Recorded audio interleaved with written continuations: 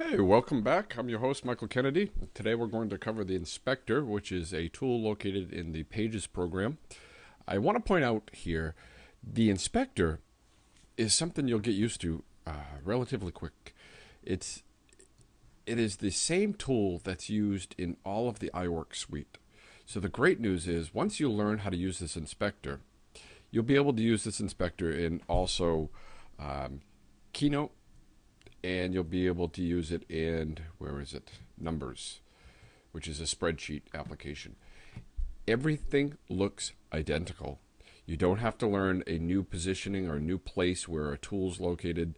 You learn this one palette this group of palettes called the inspector and you know this for all three applications. And the great thing is i believe it, it, it is the same exact one in i don't know if i have it down here uh, in iweb for those of you who are going to create some websites so, what is an inspector? Well, the inspector is a uh, a group of palettes that contain several different tools. As we can see here, we can hover over these. It says the document inspector, and we have a layout inspector, a wrap inspector, a text inspector. And I'm going to go through these relatively quick.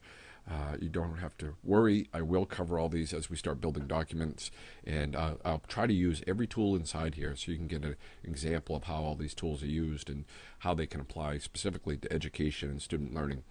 So, inside the document inspector, we have many popular tools. It's really a, collabor- uh, a culmination of all the most popular tools that are located in all these uh, drop down menus. I have covered all these drop down menus, but some things are not covered, like the advanced features. It, you can't really pull all these advanced features out of the inspector. The inspector is really something that you're going to use as you're creating a document. Um, it, you're navigating back and forth, back and forth by altering images, masking, and creating margins. So let's go ahead and cover the inspector really quick here, and uh, then we'll get right into creating a document. So the first page, uh, first palette, I should say, in the document inspector is the documents palette, and that covers the page setup, which does your uh, your landscape, you know, the page orientation and your paper size. We've already covered this in the uh, previous tutorial. And also on here, we have the uh, facing pages, which I showed before, which allows you to see two pages at the same time. In this case, I only have one page, as you can see right here. I have one one of one page, so it's it's not showing the face, but it did move over to the side. Uh, if I created two or three more pages, you would see them showing like a book. So um, we have our page margins, and if you could take a look right here, you can see I have um, one inch margins. Well, I can go ahead and change those, which is really great.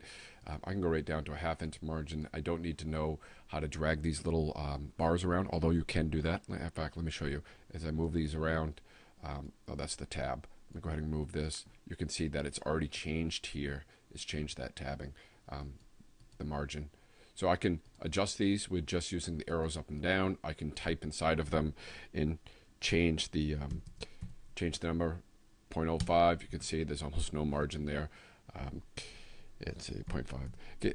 Please, please do keep in mind that um, with printers, uh, printers generally require at least a half inch margin on the sides the top of the document has to be at minimum 0.5 and and and I'm not saying all printers but the vast majority of printers and this is the tricky one. The bottom of the page which is usually the last part of the page to come out of a printer needs to be at minimum 0.6 not 0.5 so if you want to maximize your real estate on a um, on a document and try to fit some more information in there. These are the um, minimum numbers you're going to be able to use. Left and right margin will be 0.5, and uh, top will be 0.5, and the bottom will be 0.6. So uh, we have a headers and footers. Um, in this case, if I click inside the header here, you can see this little box. It's a half inch right now. If I want to make that header drop down to one and a half inches down, I can do that just by using the arrow keys. Again, I can type inside here. Um, and the same thing with the footer. If I find the footer down here, there we go. I can move the footer around just by clicking these buttons. And I can remove the footer by removing the checkbox. So uh, next, we have footers and endnotes. Uh, do you want to use footnotes, section notes, or document endnotes? Uh, great option. Again, this as you can start to see here, it, it, should be coming intuitive to you that footnotes and endnotes. It's right there on the page. That's a formatting piece. It's so it's on a formatting uh, palette and there they are. They're not hidden. Um, there's no secret surprises or no uh, secret tools inside the inspector. And then the formatting of those endnotes. And I'm going to teach you in an advanced series how to change these and add some uh, unique symbols and things if you need to do that, especially for like science and math. Um, and then numbering, if we start numbering, do we want that to be continuous, restart it on a page, and restart it at a section? I'll probably demonstrate how this works when we create a more uh, complete document, but um, that's pretty powerful. So if you want to do one numbered list on one page and then restart that on the same page or restart it in the next section, and uh, just a reminder, sections are located right here. Those are the um, pages that you can insert when you're using a template, and we're going to teach you how to create these too. So space between notes, um, 10 points. Uh, we can increase and decrease that. And do you want to hyphenate? Let's hover over this. Oh, I should put that point that out right now. Um, hyphen, hovering over these, it will give you a little yellow box. It'll tell you what it actually does. So select and select to turn certain letter combinations, for example, phi, into one character. And uh, hyphenate, hyphenate words automatically. I'll take that. And require a password to open. If you select this, it will bring up this little dialog box and it will allow you to create a password. So if you don't want students being able to access a document that's online or maybe only access at a certain time when you give out the password, you can type in a password, verify that, much like you do when you create an email account. You can even give them a hint and uh, you can set that password.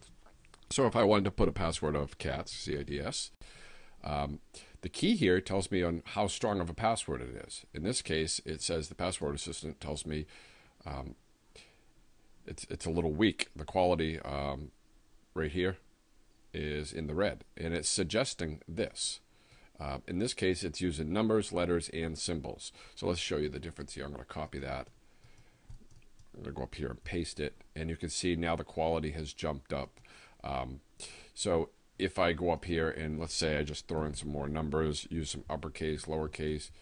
Now, obviously, you would not want to give out this password to students. I doubt you would remember it as as unlikely as they would remember it.